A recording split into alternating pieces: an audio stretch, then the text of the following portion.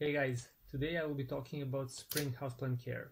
If you live in the northern hemisphere, the spring is here, so here are the tips. Tip number one, there's more light in spring than winter, so your plants will be drying out faster and will need to be watered more frequently. Tip number two, if you have a garden or a patio, take your plants outside. The amount of light we give them indoors can't possibly be compared to the amount of light they can get outside. They will reward you with bigger and faster growth. Tip number three, Cut off all dead leaves, brown edges, brown leaf tips. Remove all dead foliage from the soil.